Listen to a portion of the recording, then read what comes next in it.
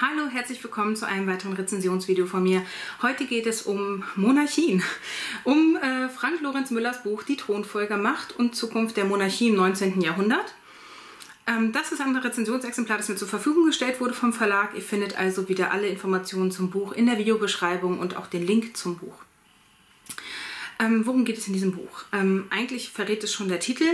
Es steckt aber noch viel mehr dahinter, wie ihr euch sicher denken könnt. Es ist ja relativ umfangreich. Wir haben hier ähm, einen Autor, der genau weiß, worüber er schreibt und es schafft, es trotzdem spannend zu machen. Also es ist kein trockenes Geschichtsbuch, ähm, wo man eigentlich nur so politische Daten und Fakten hat. Es ist wirklich spannend aufgemacht. Wir beginnen mit der Hinrichtung Ludwig XVI. und arbeiten uns dann so vor. Ähm, der Schwerpunkt liegt natürlich auf den Thronfolgern und was das eigentlich bedeutet. Also was bedeutet es, wenn man schon vor seiner Geburt diesen Status des Thronfolgers bekommt. Wie gehen meine Familienangehörigen mit mir um? Was prägt wohl meine früheste Kindheit? Wie wachse ich auf? Welchen Anforderungen muss ich gerecht werden? Schaffe ich das? Also das sind die ganzen Fragen und ich war vor allem als Erzieherin sehr erschüttert, wie brutal mit diesen Kinderseelen umgegangen wurde im Sinne der Monarchie. Es ist ein zweischneidiges Schwert, das macht der Autor auch sehr deutlich. Auf der einen Seite ähm, ist das 19. Jahrhundert und auch nach 1900 einfach eine Zeit, wo die Monarchien um ihr Dasein kämpfen müssen. Es ist zwar ein starker Militarismus irgendwie auch da und auch so ein Traditionsbewusstsein, aber eben auch der Fortschritt und ähm, auch das Autonomiebestreben der Bevölkerung. Und diesen Spagat schafften fast keine Monarchien aufrechtzuerhalten. Also es war einfach zu schwierig. Es war einfach dieser Konflikt zwischen diesen traditionellen, was ja so eine Monarchie irgendwo auch ausmacht und wovon sie dann nicht lassen wollten, und der moderne, die aber eigentlich inkludiert werden müsste. Und daran scheiterten dann halt einfach viele Monarchien. Und dieses, ja, diesen Prozess beleuchtet der Autor hier auf wunderbare Weise. Ähm, er geht in die einzelnen Königshäuser rein, ähm, stellt die halt grob vor und dann bekommt man wirklich den Einblick, ähm, in die direkte Umgebung des oder der Thronfolgerin, des Thronfolgers, überwiegend Männer. Mm. Und was das halt bedeutet hat. Und man fühlt so mit, also es ist wirklich ganz toll geschrieben und ich habe ganz oft gedacht, Göttchen, dieses kleine Kind hat so einen harten Arbeitstag, einfach nur, weil es das Pech hatte, dort von dieser Person geboren zu werden. Und es ist auch sinnbildlich, finde ich, was aus den meisten dieser Thronfolger geworden ist. Also wie die sich entwickelt haben, nicht wenige haben sich das Leben genommen, nicht wenige sind in Alkohol und ähm, anderen ja, Fluchtmomenten irgendwie ähm, versunken. Also das war alles ähm, spannend. Es war so ein bisschen wie so eine Tratschzeitschrift, ein bisschen Gossip, hatte ich das Gefühl, weil man ja schon sehr privat reinguckt. Man bekam auch Briefe irgendwie zu lesen von ähm, Vätern und Söhnen, die sich da irgendwie gestritten haben oder wo irgendwie Verhandlungen über eine Ehe geführt wurden und, und, und, und. Also man ist dann doch sehr nah und äh, sehr intim irgendwie dabei, was natürlich irgendwo auch spannend ist. Deswegen las ich das Buch auch ganz gut weg. Auf der anderen Seite hat es halt diesen Gossip-Touch, also für mich zumindest. Also ich habe euch ja schon gesagt, woran es halt auch scheiterte, nämlich an diesem Umbruch in die Moderne.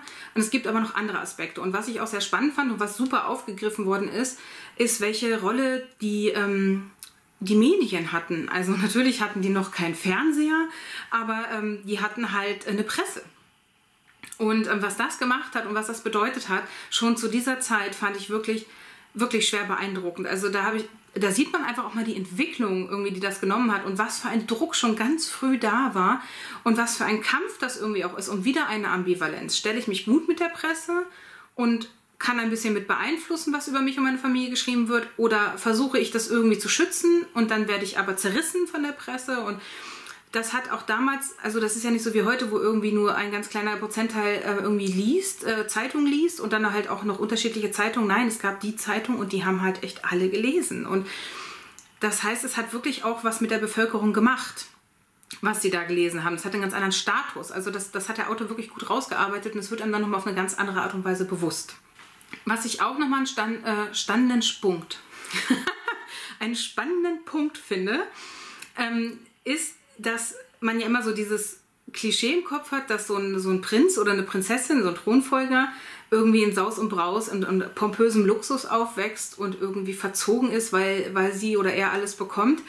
aber im Grunde war es nicht so. Also hier wird ein ganz realistisches Bild davon gezeichnet, was für eine Knechtschaft das eigentlich war und wie isoliert und ver emotional verwahrlost die einfach oft auch waren. Und das zu lesen war auch nochmal eine Bereicherung der Perspektiven, die man so hat, weil mir das auch so in dem Ausmaß, in dem es hier geschrieben wird, nicht bewusst war. Also das macht jetzt natürlich auch viel mehr Sinn, aber ich habe da einfach vorher so nicht drüber nachgedacht.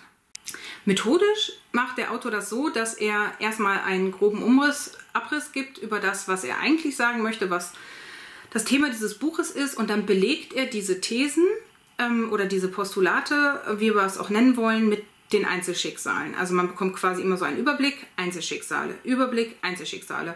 Und das macht total Sinn, weil man erstmal die Theorie im Grunde hat und dann wird es auf die Praxis runtergebrochen. Und das finde ich ist einfach ein sinnvolles Vorgehen.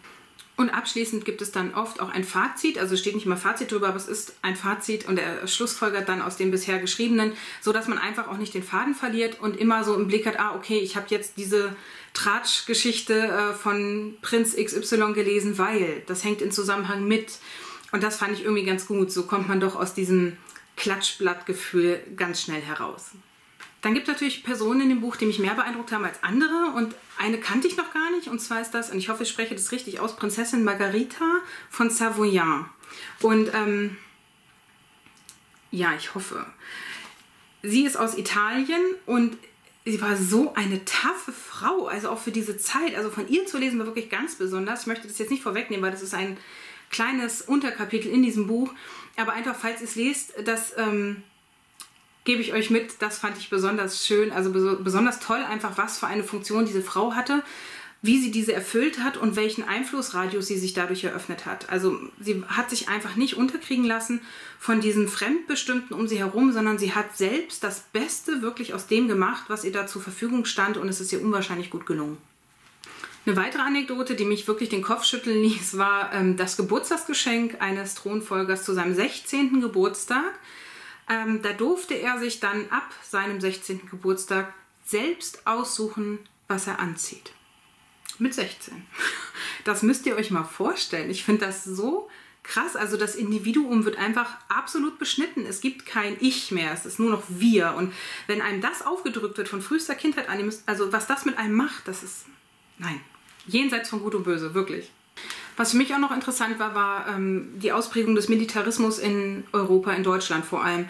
Und was für groteske Formen das eigentlich angenommen hat. Also wo man dann schon irgendwie Fotos von zwei, dreijährigen Kindern mit Uniform und Degenbehang irgendwie gemacht hat, wo Könige sich unfassbar inszeniert haben, ohne jemals ein Schlachtfeld gesehen zu haben.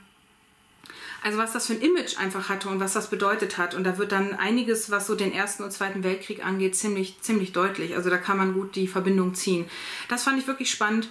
Und was auch spannend war, war, ähm, wie das Ende der Monarchie einfach vonstatten gegangen ist. Also das wird hier auch äh, abschließend natürlich behandelt. Also ein rundum gelungenes Buch, finde ich. Und ich würde ihm so zwischen drei und vier Sterne geben, ähm, weil es mich nicht umgehauen hat. Es war aber trotzdem sehr, sehr interessant. Ähm, es ist gut aufgemacht, es lässt sich spannend lesen. Ähm, ja, ich kann es empfehlen. Wen das interessiert, auf jeden Fall. Man ist hinterher definitiv schlauer und ich denke, das war's. Lasst mir doch da, wenn ihr es schon gelesen habt. Und ansonsten ähm, hoffe ich, ihr konntet da für euch irgendwie was Spannendes oder Interessantes rausziehen. Und dann würde ich sagen, sehen wir uns im nächsten Video. Macht's gut. Tschüss.